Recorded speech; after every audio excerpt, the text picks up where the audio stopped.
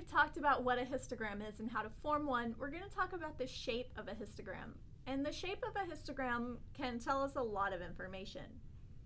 And we're going to look at six shapes in particular and what they can tell us.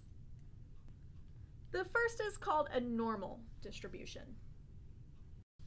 Here's something that is a normal distribution. The main thing is it peaks right here in the center and then it's symmetric on both sides. And it's important to note that on these shapes, it's very rare to have a histogram that's an exact normal distribution. However, we can see things that are relatively close.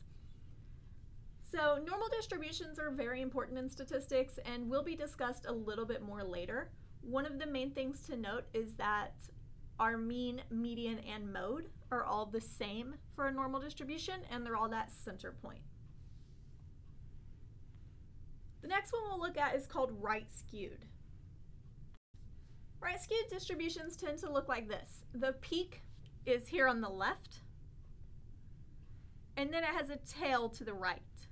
So the right tells us where the tail of this distribution is. These distributions tend to have a lot of low values and then very few high values. Just like we have right skewed, we also have left skewed, which is going to be very similar. Here's a left skewed distribution. We notice the peak is at the right of the distribution, and then there's this tail to the left. This one has a lot of high values and very few low values. Right and left skewed do get confused quite often because people usually want to refer to where that peak is, but it actually refers to which side of the distribution the tail is on. In this case, it's on the left-hand side, so we have left skewed. The next one we'll look at is called uniform, also sometimes called regular. Here's a uniform distribution.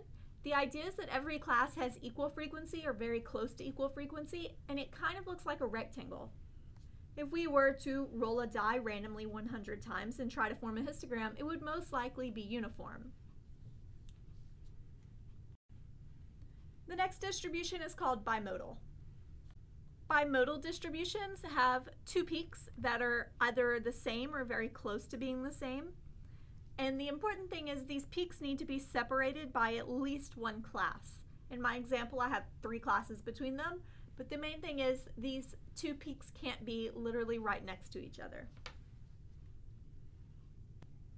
The final shape we'll look at is called irregular, also sometimes called random. Here's an irregular distribution.